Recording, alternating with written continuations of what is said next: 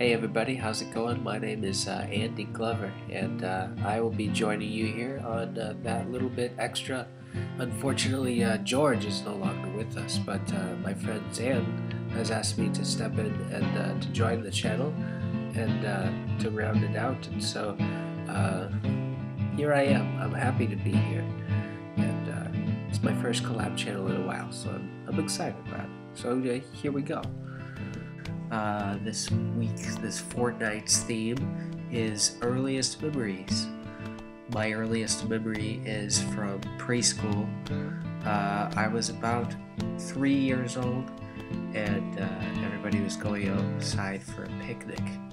And I just remember, uh, like the inside of the classroom, like I, I can visualize it a little bit as like a like a square like classroom the specifics are kind of vague, but I remember there being like a window on the left side from where I was standing, and I could see like a like a grassy sort of hill, and there were people uh, picnicking out there.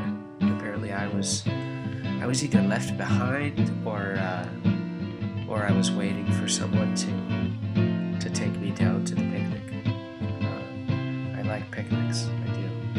Um, think that's my earliest memory. Uh, I can't remember anything before that.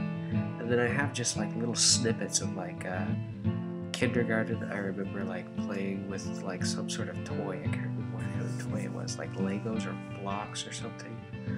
Uh, first grade, I remember uh, making like a collage. Like we were making this huge collage uh, with like jungle animals made out of construction paper, and it was pretty awesome. Pretty awesome. Um, I wish uh, I wish there was some uh, remnant of that, or like picture or something, because I remember like it covered like the whole classroom when it was done. Like we put it up on the wall, and it was just like it was massive. It was awesome. Um, yeah. So that I that I think is my earliest memory was the whole the whole picnic thing. But yeah, um, I'm really excited to be here. Uh, I haven't been part of a collab channel in a while. This will be my second collab channel I've been a part of, and uh, I'm really excited to get to know you guys all better and have some intriguing conversations. Um, until next time, I've been Andy, giving you that uh, that little bit extra.